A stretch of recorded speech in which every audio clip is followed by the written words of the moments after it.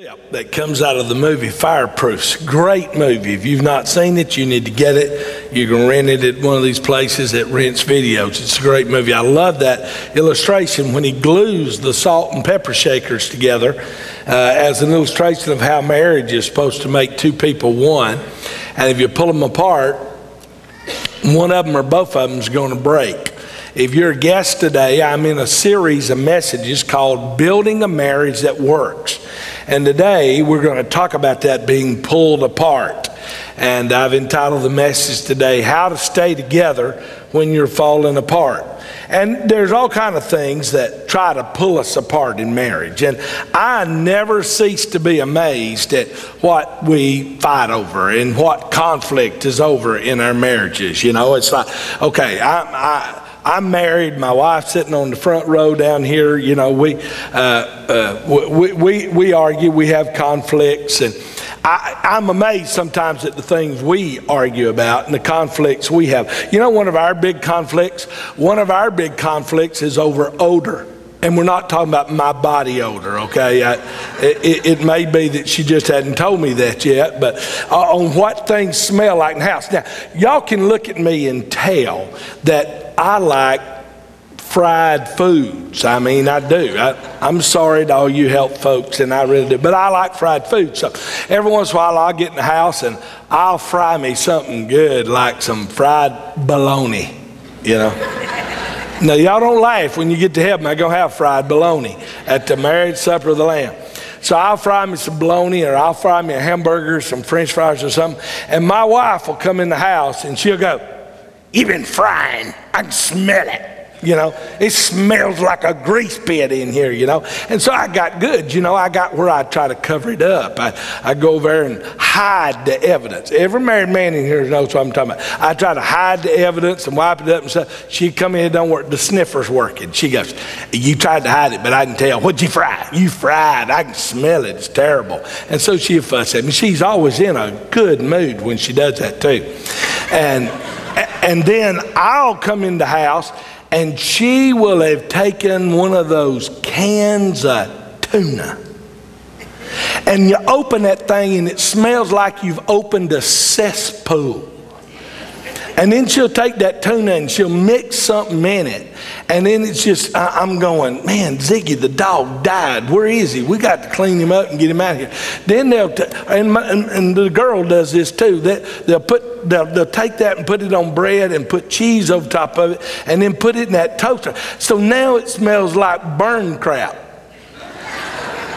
I mean, in the whole house. I mean, I'm just walking around. My brother in law was over there, and he, he was saying the same thing. This time I wasn't, he's going, What in the world? I go, Tuna, tuna, it's tuna. And, and I'm always in such a pleasant mood when I point that out. You know, I'm going, God, it stinks. You know, something real pleasant. People are always fussing over those kind of things. Yesterday, my wife and I uh, had to go do a little shopping. Uh, this kind of shopping. See, our, our dishwasher at the house broke. The dishwasher's broken. And I'm going shopping with her because I want a dishwasher because I figure if we don't buy a dishwasher, I might have to become the dishwasher. So we, we're going to buy one, and we were looking at them. And you know, after about two hours, uh, I sort of migrated apart because five minutes after we was there, I was already picked one, had it installed mentally. And so I, I, move over and, and I go over to where they got those little miniature refrigerators. Y'all know those little miniature refrigerators that you put in your offices, you know, about 36 inches high. So I go over there and there's this young couple over there looking at uh, mini refrigerator. And I couldn't, I'm preaching on marriage anyway, so I was doing research. So I just stand over there listening to them and I could hear them talk. You could tell they were from the South because they did that. Sweetheart, that won't fit. You know, they go from sweetheart, that won't fit. Just, you know, without taking a breath. Honey, that, that's just right. Leave me alone. And so they were going on for about 10 minutes. So I migrated back over to the dishwashers. And then about 15 minutes later, I migrated back over. And I'm telling you, when I got back over there this time, this poor, they were in their early 30s. This poor girl, I'm not making this up, she was in tears She was weeping and crying, and the husband had his arm wrapped around her, patting her on the back. It'll be all right, honey. We'll pick one out. It'll be fine. I'm going, we're not talking about what child we're going to adopt. Here's which refrigerator we're going to get. And I thought that was bad until I went into the bathroom. And I went into the bathroom, and when I did, I saw this man who'd been overlooking the, the dishwashers with us. Guys, I'm not making this up. I promise, I'm not making this up. This guy's about my age. I walk into the bathroom, and he is standing in front of the mirror. There's not another human being in this bathroom. He is in the bathroom by himself, and he is looking in the mirror, and he is talking to himself. And when I walk in, he's going, Why do I go shopping with her? Why do you do it?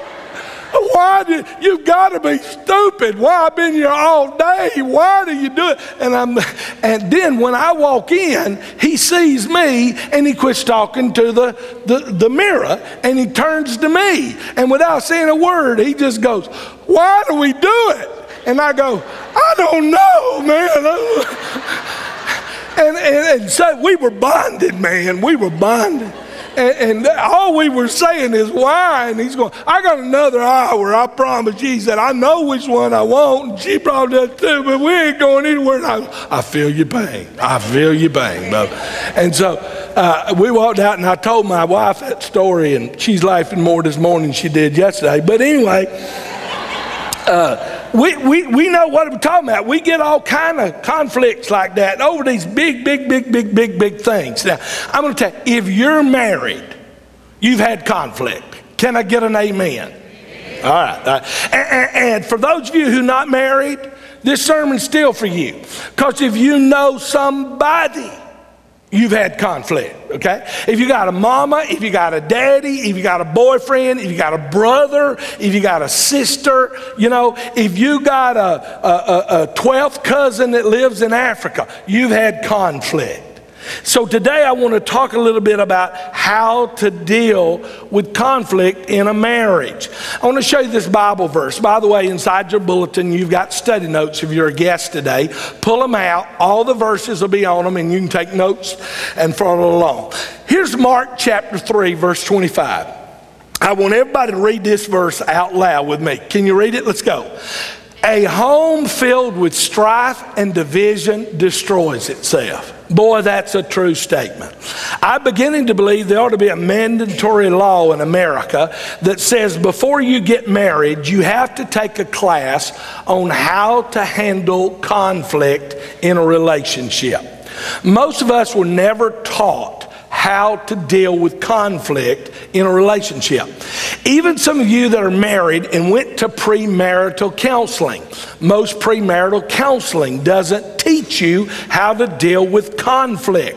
So, a lot of us have scars, and we need to learn how to handle this conflict. That's why today I've entitled the message, How to Stay Together When We're Being Pulled Apart or Falling Apart. And I want to look at some practical ways on dealing with conflict in our lives. And again, these principles, will fit wherever you are at whatever station of life you're in. It'll help you with your business, with, with dating, with, with marriage, with, with mama and daughter, son and father, brother and sister, sibling. Uh, the, these are, are, are great principles. So let's talk about how to handle this conflict.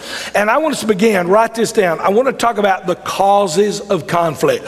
What causes fights? What causes conflicts? Well, the Bible's pretty clear. It, matter of fact, the Bible is blunt about this.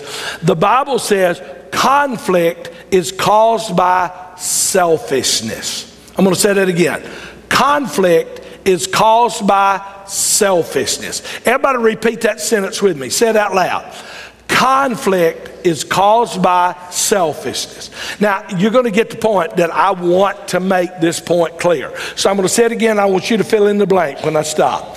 Conflict is caused by selfishness. Now, let me show you. The Bible says in James 4 1, read it out loud. Do you know where your fights and arguments come from?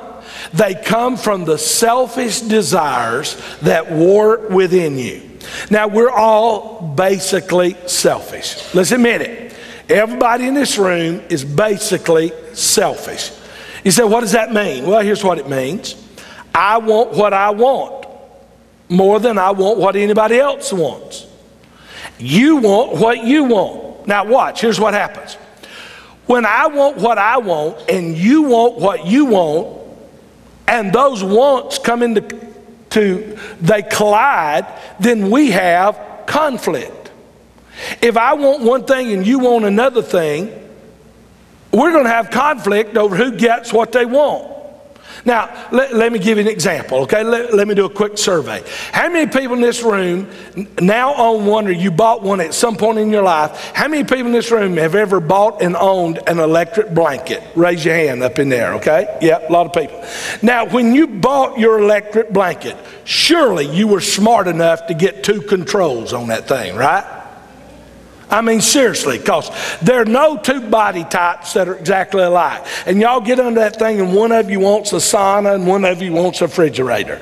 And, and, and you've got them going. I mean, now, my wife and I are different when it comes to this. Of course, some of it has to do with the fact that she's skinny and pretty, and I'm fat and ugly. But anyway, uh, we, we get into bed, and I look over, and my wife not only has every blanket on our bed, but every blanket in the bedroom, she went and robbed the kids' blankets.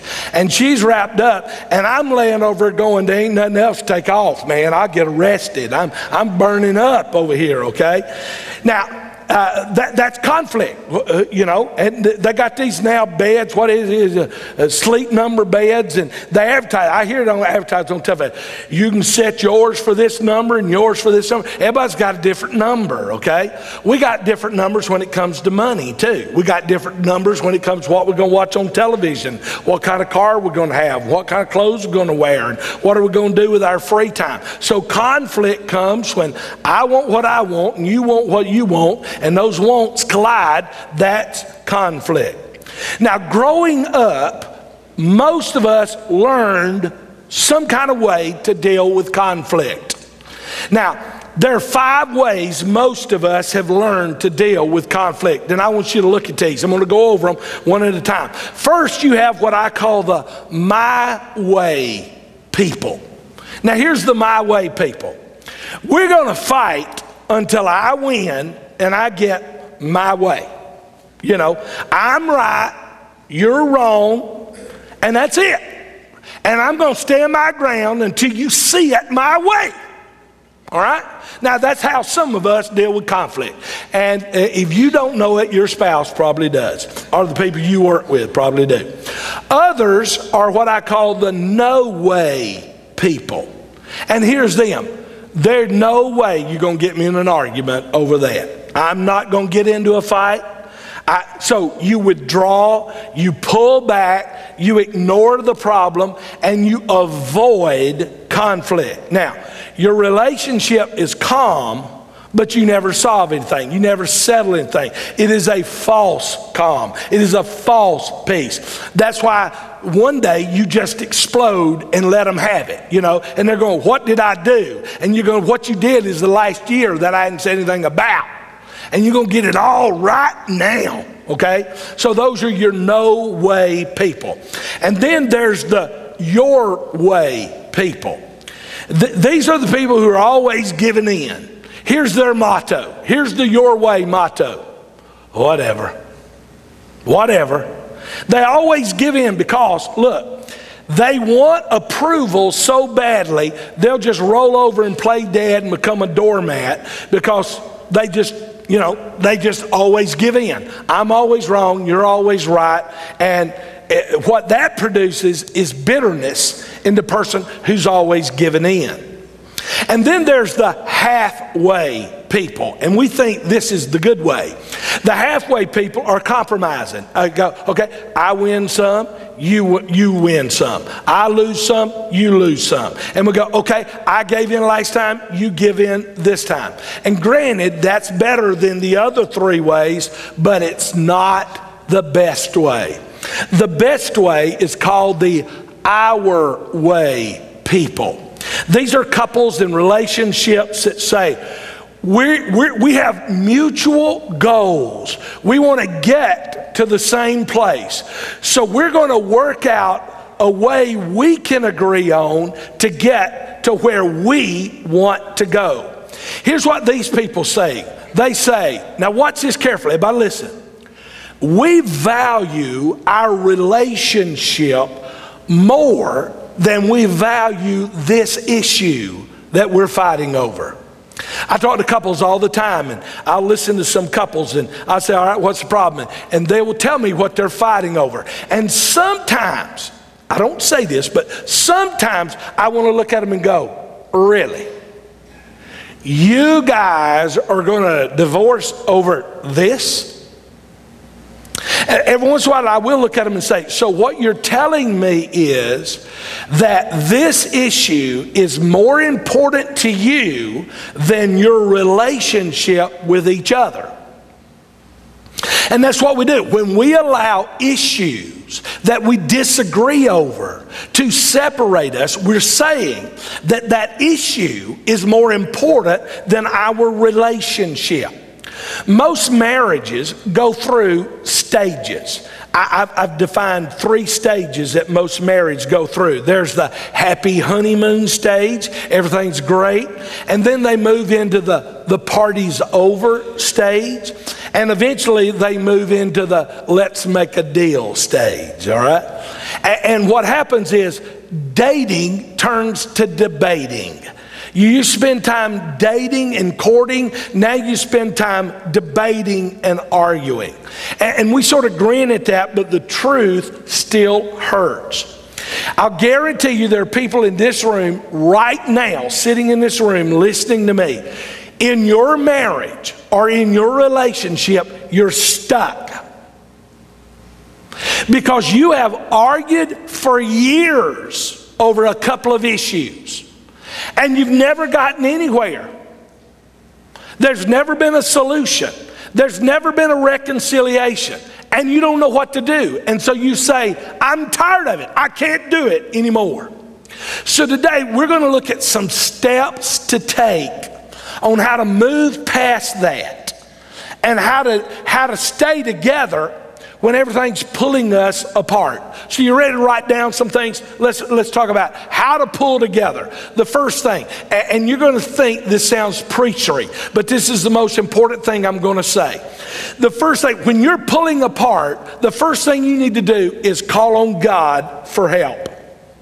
Now, let's just take a time out. Write that down, stop, and look up here, and let me just talk to you for a minute, okay? Let's just take a time out. When, when, when, couples come and talk to me about marriage, a lot of times this is what I hear. This is what they say. Well, here are our issues. And, and, they go through the issues and they say, We're dealing with all those. This is the way I feel. This is the way I feel. And we talk about that. And then they say, And then, of course, we got over here, you know, the Christian thing and the God thing and what He wants us to do. And when they say that, here's what they're saying We've got our marriage and our issues over here. And then we got God over here. Like the two don't have anything to do with each other. And what we've got to learn to do, folks, and, and, and, and look here now, I'm talking to people, you love Jesus, your spouse loves Jesus. Y'all come to church, you read the Bible, you pray, you worship, you both love the Lord. And God's in your life. But now, watch this God's in your life, but God's not in your marriage. You've got your marriage, and then God's over here. He's something you do by yourself, or He's something you do on Sundays. And God doesn't get involved. And so when people talk to me, it's like, oh, well, yeah, I know what the Bible says. But our home, God's got to be involved in that relationship. And so what I'm saying to you is when we as couples, have conflict. We've got to ask God to help us deal with the conflict in that relationship. Now, let me give you a picture of what I'm talking about here, okay? Before I come to you and deal with you, I need to go to God and deal with God first. Now, I, can give you a concrete example about this, okay? There have been times when, when I've been aggravated at my wife, frustrated at my wife, and, and, and I've wanted to lash out and just, you know, let her have it. And, and and I've stopped it some of those times and I've gone and I've prayed. And when I've been praying about it, I'm saying, okay, God, I got to deal with this. I got to talk to Dan about this. I got to deal with this. It's like God says, now, you know, really, you're the idiot and you're the one doing wrong. And, and you don't need to talk to her, you need to talk to me because you're the one causing this problem. And it, it's the way you're looking at this and it's what you're doing, and you need, you're the one that needs to adjust. And then sometimes when I'm praying about it, then I pray, because here's what God does. God can either change you or you can pray for God to soften the heart of the person you're married to and say, okay, God, I've got to go talk to my spouse about this, and I want to pray that you would make my spouse be receptive to what we need to talk about and that you'll make their heart ready to hear you, not me, not even my side of the story. But God, as we deal with this conflict, we need you to help us to do this. So here's what I'm saying listen.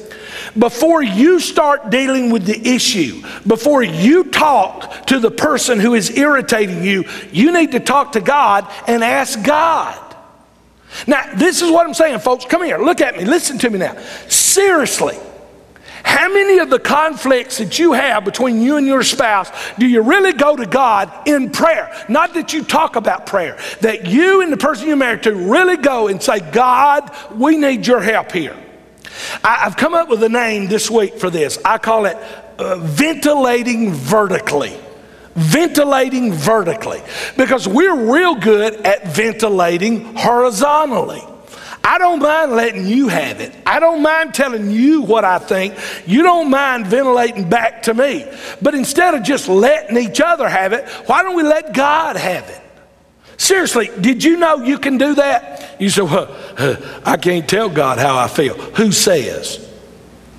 Read the book of Psalms. Did you know one time David was so mad with somebody that he prayed, God, I pray you'd take their children and bash their babies' heads against the rocks? I'd say that's pretty upset, wouldn't you? Now, probably nobody in here has ever done that, but everybody in here as a parent has thought about it. God, just take my kids out and stone them. Just, just stone them. I won't have to, just, just take them out there and just stone them. And, and we, but see, it's a neat thing. You can do that with God.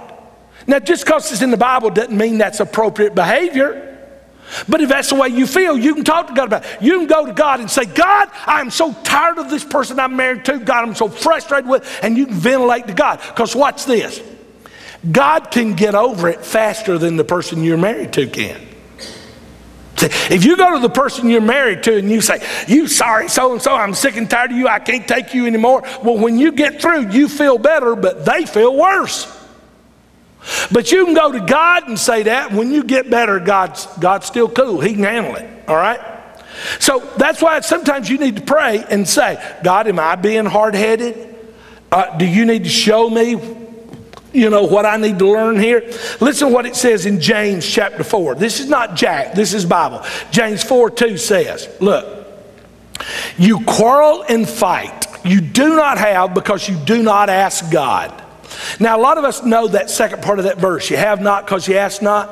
But did you know that it is in the middle of a verse on fighting with people? God says, Y'all don't have peace because you don't bring me involved into the equation. And then a lot of times, guys, conflict happens when I expect you to meet needs that you can't meet.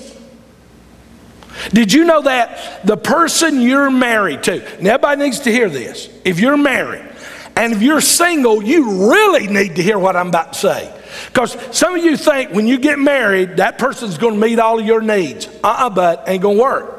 Ain't gonna work. There is not another human being that can meet all of your needs. Here's what happened. Remember when you got married? You stood up there in front of a preacher, just a piece, whoever. You stood up there and you said, I do. Now, you said, I do, but you were thinking, I expect.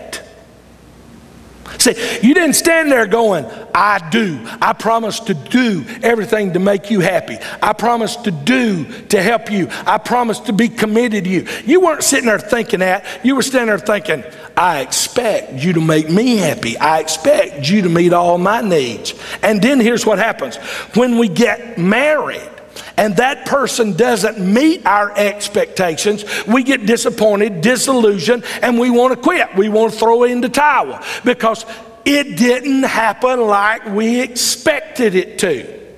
By the way, let me tell you how you can know if you're looking for somebody else to meet your needs instead of God. Now, it's real simple. Look, if you want to know if you're looking to your spouse or anybody else to meet your needs instead of looking to God, here's how you know. If you get mad or upset when they don't meet your needs, then you know you've been looking for them to do that. Because anger, watch, anger is a warning light that says, I'm expecting you to meet my needs and you didn't do it, so I'm mad.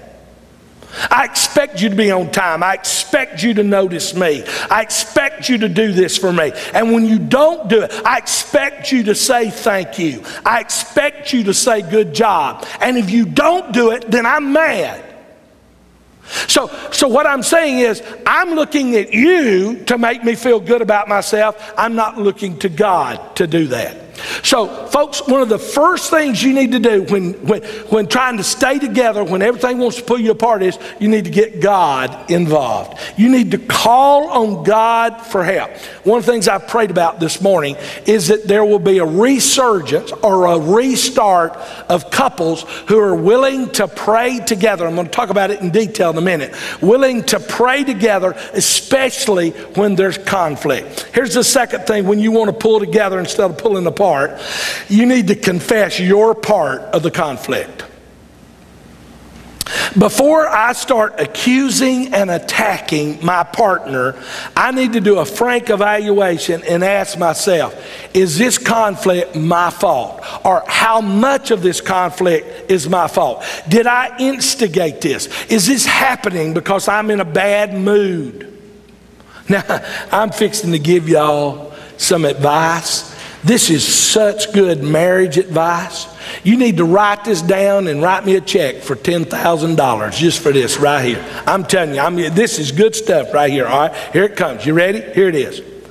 When you're wrong, admit it. When you're right, shut up. Really? When you're wrong, just, I was wrong. I'm sorry. I was wrong. I was wrong. And when you're right, just shut up. Now, you say, Jack, how did you learn such wisdom? By doing it the wrong way so many times. You know, by looking at my wife and saying, See, I told you so. If you listen to me start with, it, that didn't go too well for me. How'd that go for y'all? Doesn't go too well. It just doesn't. So when you're right, you don't have to poke them with a stick eye and prove the point that you're smarter than they are. Admit it when you're wrong. Just, I'm wrong. I was wrong. And when you're right, don't rent a billboard on 95. Here's a great marriage verse. We know this verse, but we never think about it with our marriage. By the way, Jesus said this, so listen to. Why do you look at the speck in another's eye and pay no attention to the log in your own eye? Take the log out of your own eye first, then you'll be able to see clearly. Jesus was a funny guy too. He wasn't always serious. He's fun. This is funny. He's sitting there saying, You're over here criticizing everybody else. Man, you need to look at yourself. You're over there talking about that little bit of speck they got in their eye, and you got this big old two before in yours. He's being funny, but he's trying to make a point. And, and look, most marriages I know have two sets of rules. You got to set a rule for your spouse, and you got your set of rules for yourself. They can't do that, but you can do it. If you don't believe me, some of the stuff your spouse pulls on you, turn around do the same thing back to them. See how well it goes over. It's okay for them to do it, but it's not okay for you to do it. So here's, here's what I'm saying. You need to say, all right, I need to own up to my part of what went wrong. By the way, this is Fred, just throw it in. If you've gone through a divorce, the easiest thing in the world for you to do is sit back and tell everybody in the world what your former spouse did wrong. I'm going to tell you, you did some stuff wrong too. All of us who've ever gone through a divorce have made mistakes. And what you need to do is sit down and say, All right, I can't fix my former spouse. What parts did I do wrong? Don't want to do them again. And the reason why most second marriages end in divorce too is people don't ever do that. We just it's easier to blame the other person. But right now, while we're married, understand everybody has blind spots. You do too. If you don't think you have a blind spot, that's your blind spot. It's one of them. We all think it's somebody else's problem and it's not my problem, but sometimes it is. So here's what we need to ask. Now, now seriously, okay? Y'all can probably try this day because if you're married, you'll probably have conflict before you go to bed tonight. Right? You're supposed to say right back, right? Right, okay. I just checking to make sure y'all still there. So when you have your next conflict, you need to say, Am I being unrealistic here? Am I being insensitive? Am I being overly sensitive? I've been counseling couples since before I got married. And one of the things I've learned is we get so sensitive. And this is not just married couples, this is parents and children. This is brothers and sisters. We, our fuses, guys, our fuse is so short, it just doesn't take much to light it. And we're so sensitive. All it takes is one word. I've seen it. I've seen mother and daughter standing there. One of them say the wrong thing, and the other one goes, That's it, I'm out of here. Boom. They get the car and they're gone. Now, at some point in there, don't I have to sit there and say, Am I being too sensitive? Can I not let this slide? Am I being too demanding? Am I being ungrateful? In other words, before I deal with the other person, I need to deal with me. You know what the number one excuse for divorce today is? The number one excuse for divorce is incompatibility. We say, well, we're just incompatible. So I thought I'd do a little study on incompatibility. Here's what the leading experts say on incompatibility. Dr. Paul Tournier, the Swiss uh, psychiatrist who wrote the book, Understand Each Other, wrote this. So called incompatibility is a myth invented by jurists in order to plead for a divorce. It is likewise a common excuse for people to hide their own weaknesses and failings. Misunderstandings and mistakes can be corrected when there's a willingness to do so. The real problem is a lack of complete frankness. And I might add the word inflexibility.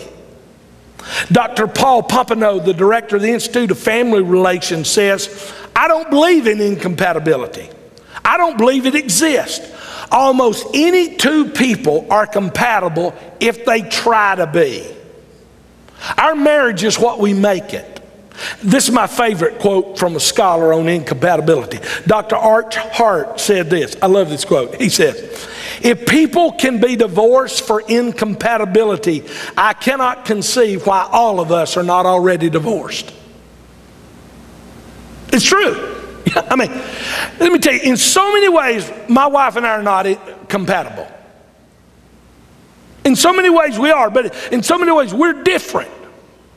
But, but, but I'm going to give you a great definition of marriage. You need to write this down, okay? Write this down. Here's a great definition of marriage marriage is a lifelong process of overcoming your differences. You are, for those of you who are single, you're going to marry somebody and you're going to have differences with them. You're going to need to spend the rest of your life learning how to adjust to the differences between you. And for those of you who think, and there are some in this room who do, that it's always your mate's fault. For those of you who believe it's always your spouse's fault, got a Bible verse for you 1 John 1 8. If we say that we are without sin, we deceive ourselves and the truth is not in us. Each of us has an infinite capacity for self deception. We can deceive ourselves and be wrong, and just we can't see when we're wrong. It's just easier to blame other people. I know a young man right now today, if you talk to him about his problems, it's everybody else's fault. It's everybody's fault. It's my dad's fault. It's my wife's. It's my wife's fault. It's my mother's fault. It's, it's my sister's fault. It's my brother. It's everybody's fault. It's never my fault. Okay? L- listen to me. The problem is not let me say it again. The problem is not incompatibility, the problem is selfishness. I want what I want. You want what you want. and we collide with our wants. So, if we're trying to stay together when we're being pulled apart, here's the third thing we need to do we need to convene a peace conference. They have them in governments all the time, in businesses all the time. We can't get along, we need to get together and figure it out. We need to have a peace conference. Now, let, let, me tell you something. Listen to this carefully, okay? Some of you really need to hear what I'm about to say. Conflict is seldom resolved accidentally, it's got to be dealt with intentionally. Because here's some of you are the no way people, you're just not going to fight, you're going to be quiet. Now, now, now listen. Conflict does not get better when you just keep quiet and walk away. Conflict will only get worse when you leave it alone. Because here's what happens when you just shut up and get silent, your heart gets harder and your position gets more solidified and you're less willing to give in before. So next time when you get mad, you just get mad a hundred times more than you were the first time. Now, Jesus says something about all of this for those of us who are just going to be quiet and we're not going to talk about it. Now, just, I know it doesn't matter what Jesus says, but just right here's what he says, okay? Uh, you know I'm kidding. Here's what Jesus says. If you remember someone has something against you, leave your gift at the altar and go at once to make peace. Then come back and offer your gift to God. I was preaching in South Carolina one time and I read that verse of scripture and I saw a guy get up and walk out the door. He called me that night at six o'clock and says, There's no need for me to sit there anymore. I knew while you said that, I knew that there was something wrong between me and another guy. I drove over to his house and we've been dealing with it all day. We got it right. And I couldn't worship God till we went and got it right. Now, I want to tell you something. Listen to me. If you try to serve God, let me give you a warning. I'm going to give you a warning. Now, don't, don't write anything down. Just look up here at me. I'm going to give you a warning. If you get serious, you're going to start serving God. You're going to serve God with all your heart. Let me tell you what happened. Satan's going to try to get in your marriage. Now, I'm going to be a little transparent here. I'm going, I'm, I'm going to be a little honest with you. I, I generally study three to four weeks ahead about my sermons. For example, this week I've been studying all week about what I'm going to preach on in four weeks. And then come Friday, I pick back up my sermon that's ready for today. It's already ready, and I start studying it again on Friday and Saturday, and then spend a couple hours on Sunday morning studying it again. But I've, I've been I studied four weeks ahead of time. So before I started this marriage series, uh, you, you know, so this would have been like eight, nine weeks ago. And is only the third week in, into marriage seminar. Eight or nine weeks ago, I started seriously studying about marriage to get ready for this series. And you know what happened? George and I talked about this when it happened. I, Satan started coming at me and attacking me, and all of a sudden, Ann and I started having all kind of conflict.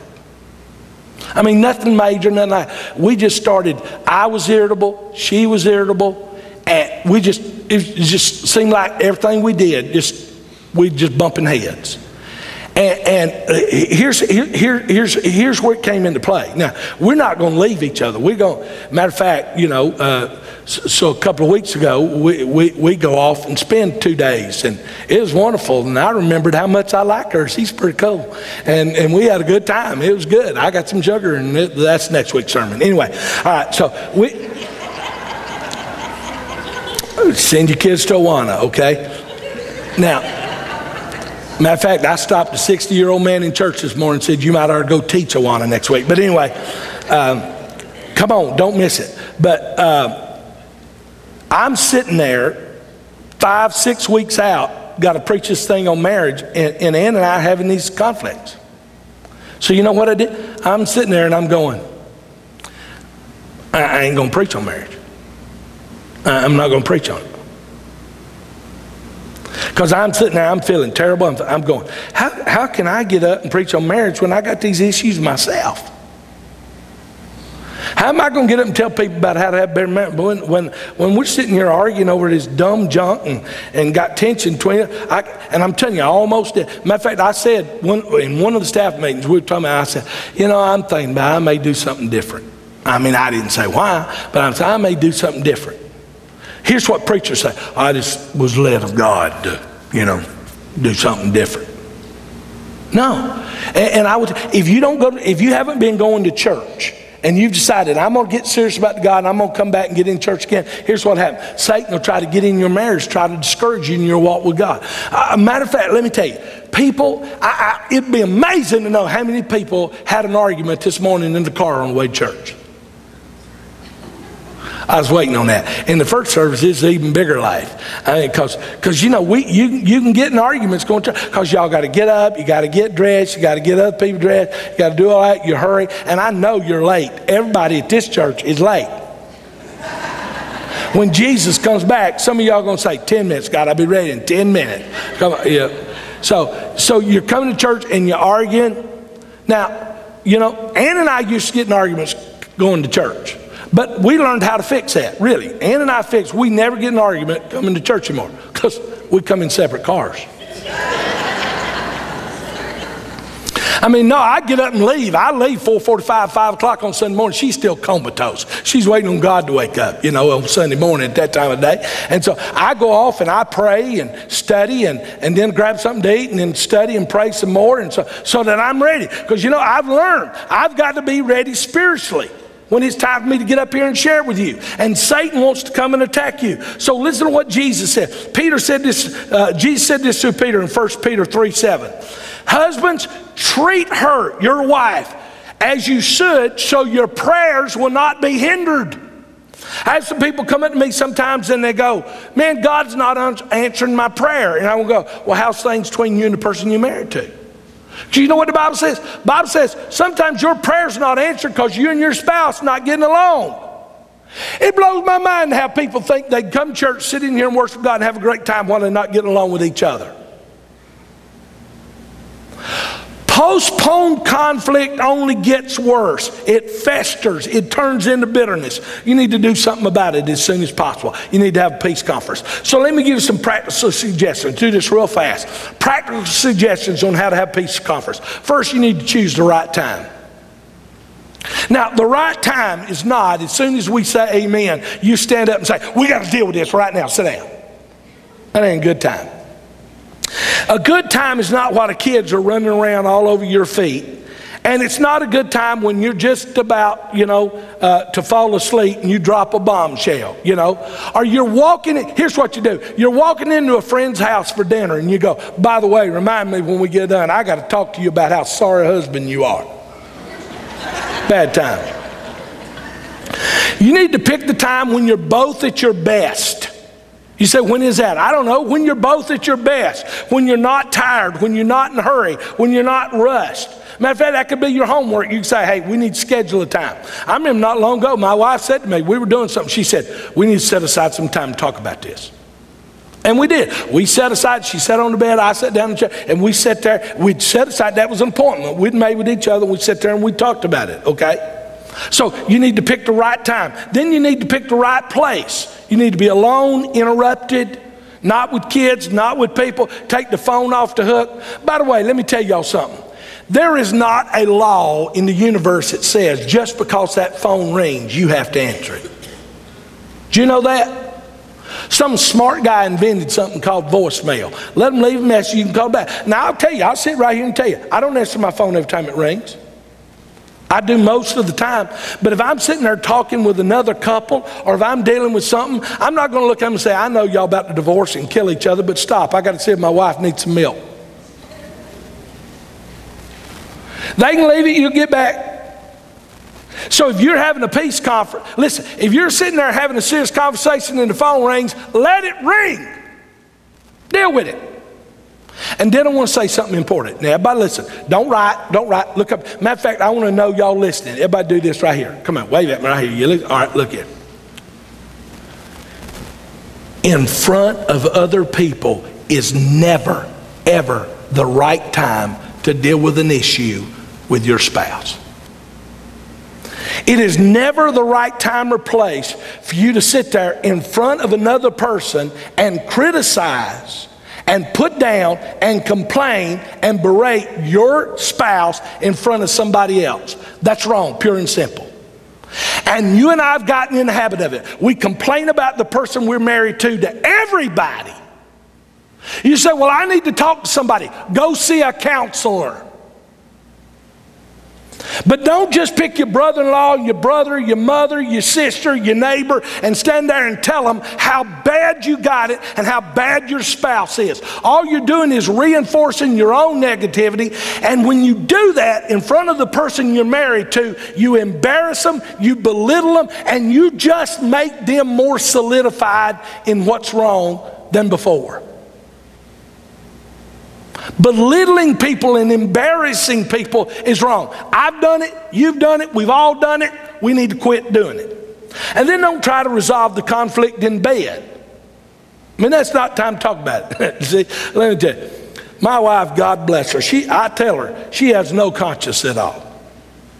Because she can lay down on the bed. When she lays down on the bed, you, you, you got, if you want to talk, you got 30 seconds, buddy. Because when she lays down, the lights go out and she's asleep.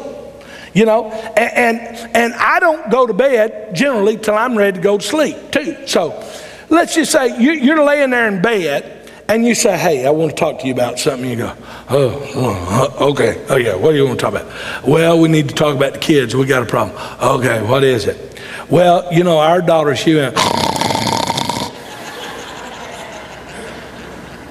And then you get mad. You, you don't even care. I'm kind of sleepy, babe. I'm sleepy. I'm doing this pretty good, ain't I? You're sitting there thinking, he done this before, hasn't he? Yeah. On, on seriously, let me go take a shower or something, you know? I mean, that's not the place to do this, all right? So, and then let me make another suggestion. Before you have this little powwow, this little peace conference, pray together. Pray before you argue. So, really, come here. Now listen, listen.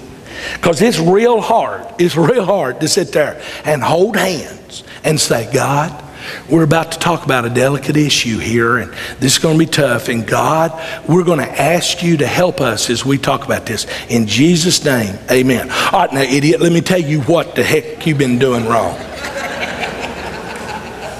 You sorry, good for nothing, blankety blank, blank, blank. I'm sick and tired. It's hard to do that, okay?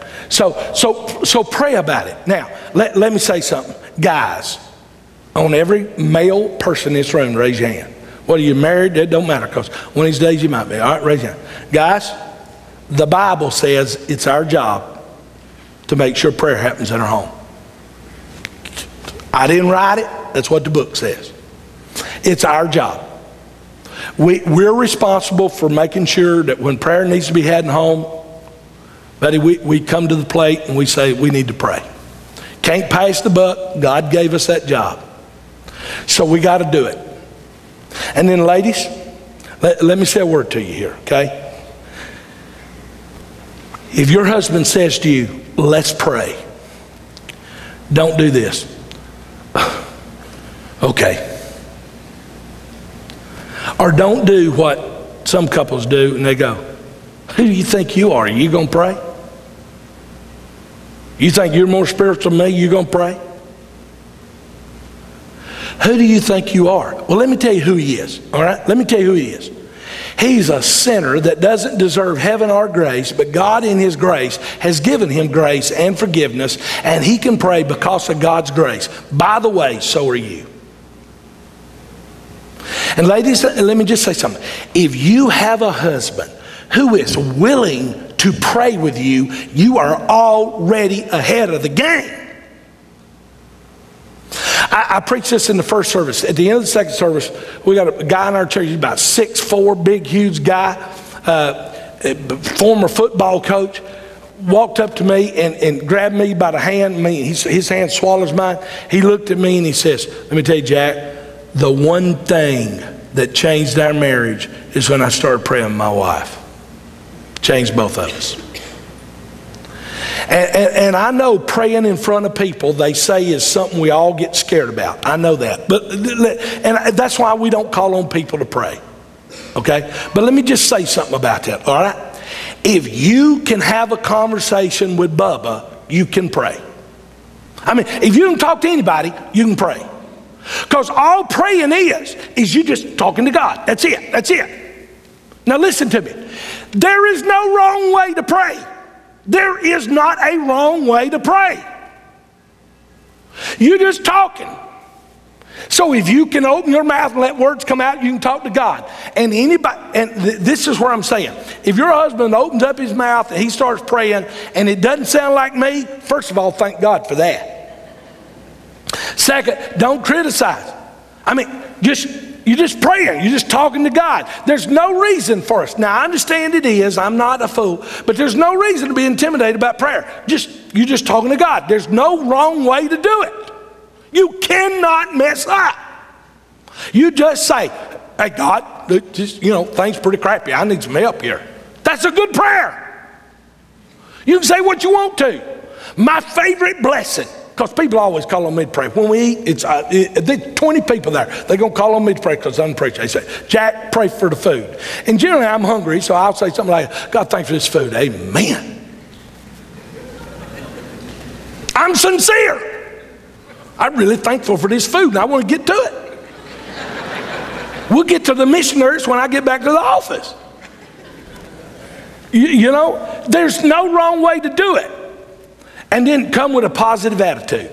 When, when you're going to have this peace conference, come with a you're coming to reconcile, not to criticize. I kept telling these people one time, you and your wife need to go on a date. You and your wife need to go on a date. So they went on a date. I saw him the next week. I said, How'd it go? He said, I ain't doing that again. I said, Why? He said, Well, we went on a date.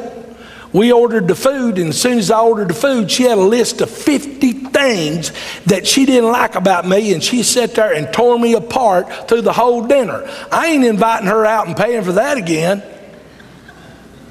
I said, That's not a date, that's a counseling session without the counselor. A date's a date. And a prayer time is not a time for you to sit there and, and tell God what you really want to tell your spouse. And it's not a time to criticize. When you're sitting there having a peace conference, listen, you're not going to get anything solved when you sit there and just tell them what you don't like about them. You got to sit there and say, all right, we need to find a way to handle this. I'm not trying to criticize, I'm trying to reconcile. Let's deal with this. And I need to move on. And number four, you need to cut the abusive language. You got to attack the issue without attacking each other. How many of you, I want to do a little survey here because I'm fixing to do something. How many of you in this room read A Quiet Time I wrote this week on cussing? Did anybody read it? Yeah, you did? You need to go back and read it. And when you do it, if you read it, you probably noticed something very unique about that one. If you hadn't noticed it, you check it out. I've had several people say, Did you know? Went, yeah, what'd you think? And then they tell me, there's another one coming, so hang on. There's a point to the madness, all right? So just hang on. But uh, uh, the point is the yelling and cussing and fussing. Now, in a marriage, we need to learn to not use inflammatory and wrong words. It's not Jack. Listen, Ephesians 4:29. Do not use harmful words, but only helpful words, the kind that build up and provide what is needed. Colossians 3:8 says, "Put away all these things: furious rage, malice, insults, and shouted abuse, and don't deceive each other with lies anymore." There are five things in that verse God says are out of bounds when you're having an argument. All right, are you listening? Next time you're in your spouse have an argument, it's five things you can't do. No furious rage. That means you can't intimidate them with anger. First one to get mad loses. Put away malice. You know what malice is? Using words to intentionally hurt them. Let me put it in Jack language pushing their buttons because you know where they are. You don't use insults. You're just like your mother. What does that solve? What does that resolve? You're not to use shouted abuses. No foul mouth, no vulgarity, no obscenities, obscenities, no profanities. Listen, if you and your mate are having an argument, you tell me what good it does to look at them and call them a four letter word or an eight letter word. What's that going to solve? Nothing. Matter of fact, I don't generally fight. I mean, I, I, I don't fight. But if y'all ever wake up and open the newspaper and there's a picture of me being arrested and taken to jail for fighting, It'll probably be because I was walking down the street and I saw some man standing there talking to his wife or his kids, and he's screaming and yelling and cussing at him. Everything in me wants to just take and just knock his head off his shoulders and say, Didn't your daddy tell you how to treat a woman or children? It's just not a place for that. And it's not a place for a wife to do it either. And then don't play mind reader. Come on, guys. If you're going to have a, here, here's what happens. You know, one of you is mad and the other one goes, What's wrong? Nothing. Yeah, there is. I can tell something. Something's wrong. You know what's wrong. No, I don't. Tell me what it is. Well, you ought to know. And if you don't know, that's part of the problem.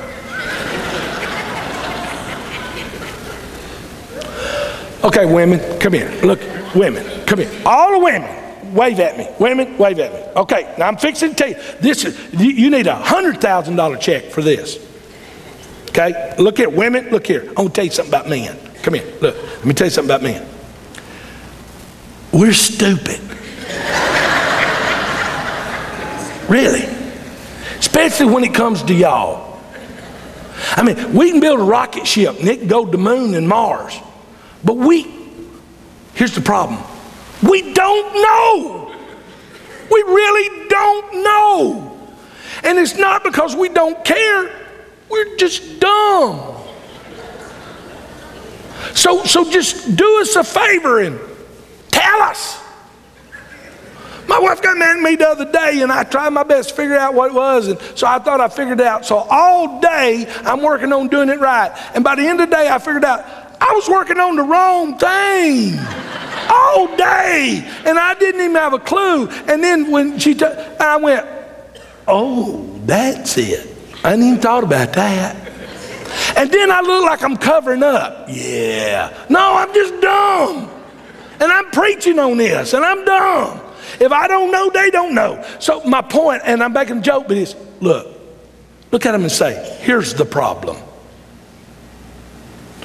Look at you can pull it. My wife, she's been listening to me preach too long. The other day, we were sitting there talking. She said, "Look at me, listen." she did. Look at me. Jesus, "Are you listening?" Not yet. so you have my permission. Look at me. Look at me. I'm going to tell you what's wrong. You can't figure it out? I'm going to tell you what's wrong. When you this morning, when you call me an idiot, that's what's wrong. Okay? So just tell. All right, number five, I got to do this fast. Five, I, I, I need to consider my mate's perspective. And this is not easy, guys. This is not easy. But I'm going to give you here's the secret of resolving conflict understanding where the other person came from. You see, the two of you are not the same.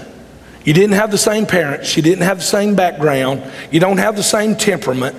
One of you's male, one of you's female. You are not coming from the same place.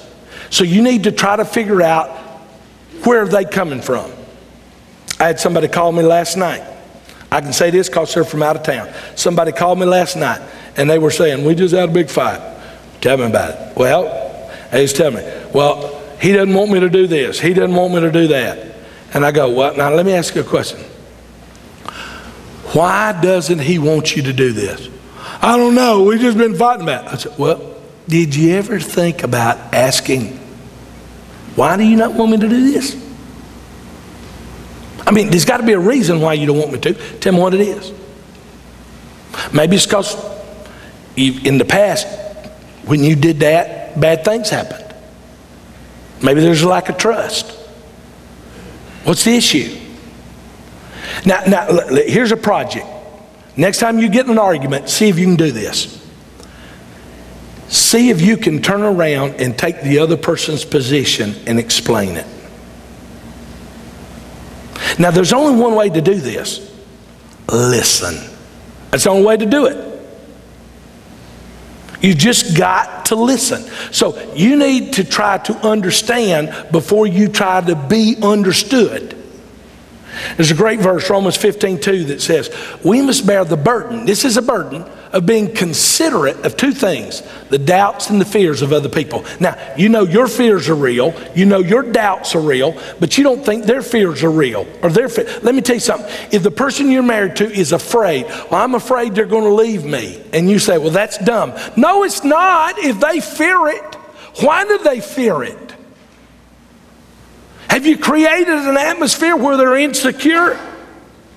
The word, uh, Philippians 2 4 says, look to each other's interest and not merely to your own. The word look is the word scopus. It's the word for a scope on a rifle when you really look into it. In, in, Jerusalem, there's a hill on top of Jerusalem called Mount Scopus. You can get up on Mount Scopus and see the whole city. What Paul is saying here is you need to get up on Scopus so that you can see not just your opinion, but their opinion and see how they feel, not just how you feel. Now, honestly, can you articulate why your spouse thinks and feels the way they do? You need to. And then, number six, you need to concentrate on reconciliation, not resolution. Look, guys, resolution means you solve the problem, reconcile means you're getting along again. Now, now, uh, listen carefully. You're not going to resolve all the issues, never. But you can reconcile. Reconciliation means to reestablish the relationship. Resolution means to resolve every issue. Now, I, I got news for everybody. Everybody's married. Listen to me. You're never going to solve all your issues. Some of y'all been fighting over the same thing for 15 years. Clue here, clue. Y'all may not ever figure that one out. So, guess what? You come to a point where you can agree to disagree, but still like each other. My wife doesn't, and I don't agree on everything. Sometimes we just have to say, we don't agree on this. But that doesn't mean we got to act like horses' rears. I gave an illustration this morning with George sitting right there, our associate. George and I don't agree on everything that happens in this church. But you know what? We can sit there and say, well, you know what? We just disagree. But we can go to lunch. Now, you need to get to the point where, again, I go back to what I said earlier. Your relationship is more important than the issue you're fighting over. Now, now, here's James 3:17 defines wisdom. You want wisdom? Here it is. Wisdom is peace-loving and courteous. And here it is. Watch. It allows discussion and is willing to yield to others. If you can't discuss it, you're not wise. And if you're not willing to bend, you're not wise. Sometimes you just have to say, hey, hey, hey, look, I've got some very, very close friends. We disagree politically about just about everything. But we're still good friends. I just say, hey, look, you're my bud. I got other buds that are stupid too. you're just one of my stupid buds, but you're, you're my bud. Now, you can't say that to your wife. You can't say, well, you know, I love you even though you're stupid. But you can say, I love you even though we disagree. Now, I'm going to close with just giving you two suggestions. Sometimes you reach issues and you can't get past them. If you do, you need to go get professional help.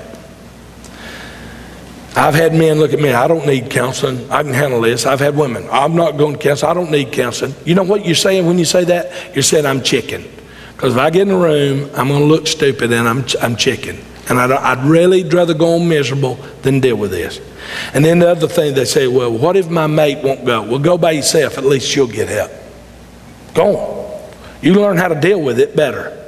But most importantly, here's the advice I give you you need to get some help from God. Colossians 3 5 says, Let the peace of heart that comes from Christ be present in your hearts. I want you to just close your eyes. Let's have a word of prayer before we leave today. I really believe that so much of what we fight about could be solved if, as a husband and wife, we're willing to get down and pray together and we ask God to help us not be selfish, but to be considerate of the other person. But you can't call on somebody you don't know. So if you've never invited Jesus in your heart, I want to encourage you to do that right now. Just say, Jesus, I need you to come into my life. I want you to forgive me. I want you to lead my life. Come into my marriage, come into all aspects of my life. I want you to be my Savior. And then those of us that are even believers, we need to say, God, I need you more involved in my marriage and my relationships. I don't want you to be a side issue. I want you to be the central issue in my relationship. God, again, I pray for the marriages in this room. Give us the wisdom to be patient and understanding and kind and loving and forgiving. Help us to be like you and involve you in our relationships. Protect us from the evil one who wants to come against us in our relationships. We love you and we praise you. In Jesus' name, amen. Thanks for coming. Have a great day. As you leave, don't forget to put in your offering and your communication slip. Have a great day. God bless. Single adult